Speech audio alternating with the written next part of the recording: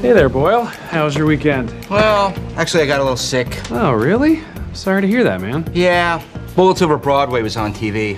And I came down with a big old Diane Wiest infection.